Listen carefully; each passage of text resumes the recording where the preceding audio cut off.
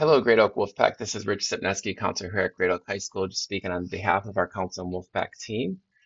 And I want to present to you some exciting opportunities that the district is rolling out with support of every site for asynchronous options for you guys for the upcoming year. You may recall that you are currently doing asynchronous learning on Mondays, and we're looking to expand that for students who've been successful in that platform, that modality for the upcoming year.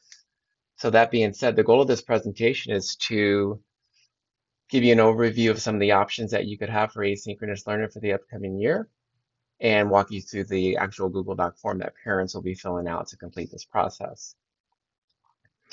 What is asynchronous instruction? With so many students being successful on online learning and in the platform, we're going to be expanding opportunities to many students across the district. The teacher will provide online instruction materials for reading, lectures, assignments, and monitoring progress. Students are working independently. I want to underscore independently through the entire course. Testing would occur during the teacher's scheduled office hours as explained in the upcoming slides. Office hour assessments will be done in small groups or individually. Expectations of asynchronous learning as this is highly important. Students expecting to engage are expected to engage in four to six hours weekly. This participation is verified through access to lecture notes, video content, and student-teacher exchanges on the discussion boards. Highly critical that you have access to a computer and internet is required. Attendance is taken in IC for the work production for the day. Who would benefit from the asynchronous learning model? Students that work well independently, again, I want to underscore independently and didn't fail any classes during this past year and a half while we were working through distance learning. And many of you have been very successful. So again, we're, we're inviting and extending this opportunity out through the district to students who, who could benefit uh, in different classes with the same modality. Uh, who could this benefit? Uh, many kids who are in our leadership programs, AVID, band, competitive sports, athletics, yearbook, CTE classes, ELL, and ROTC could, could benefit from possibly an asynchronous class or two for that matter.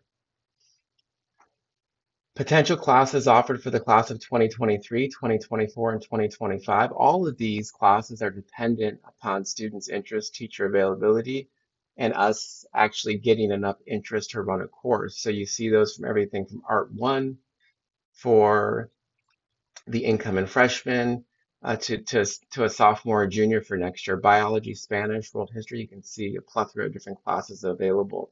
And again, these are dependent upon students' enrollment and students' interest. Schedule options for asynchronous classes, class of 2023, 2024, and 2025. As you can see, there are many different scenarios that you could have. To underscore, the most important thing, you would be in attendance and required for a minimum of four classes at Great Oak High School.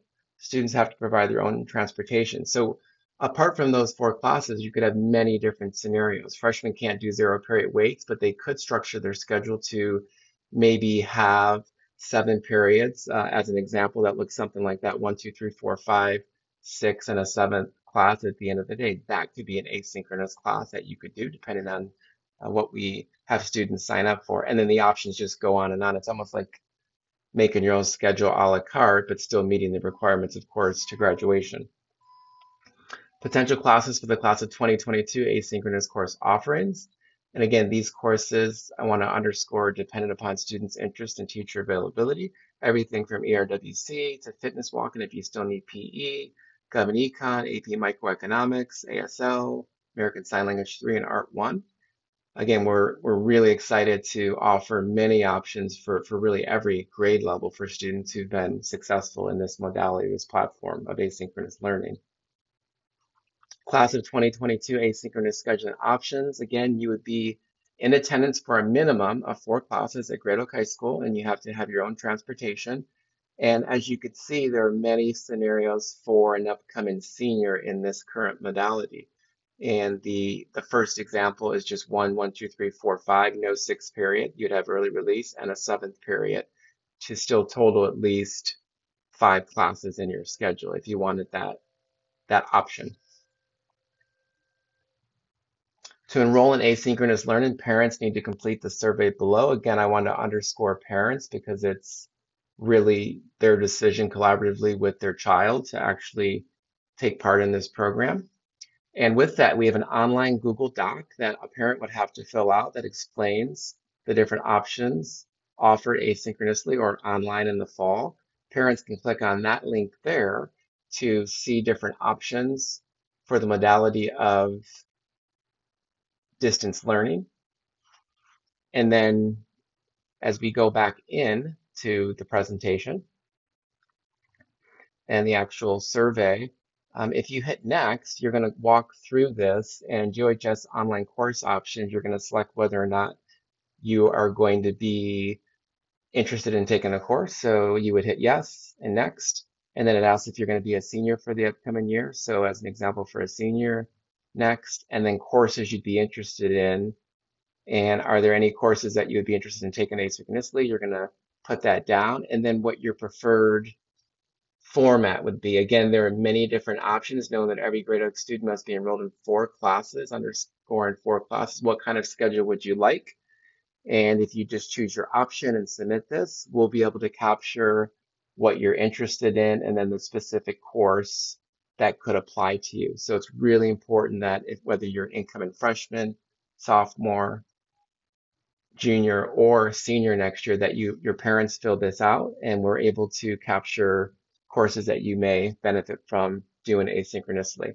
Thank you so much for sharing this information with us. We're really excited about some of the potential classes that you could take asynchronously, and we look forward to hearing back from you and your responses. Thanks and have a great Oak day.